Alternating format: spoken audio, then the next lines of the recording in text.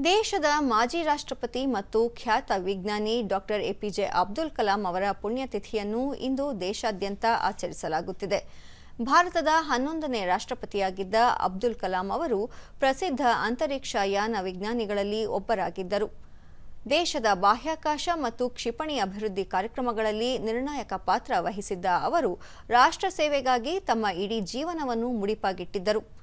ಭಾರತದ ಕ್ಷಿಪಣಿ ಮನುಷ್ಯ ಎಂದೇ ಕರೆಯಲಾಗುವ ಅಬ್ದುಲ್ ಕಲಾಂ ಅವರು ಎರಡು ಸಾವಿರದ ಹದಿನೈದರ ಈ ದಿನದಂದು ನಿಧನರಾಗಿದ್ದರು.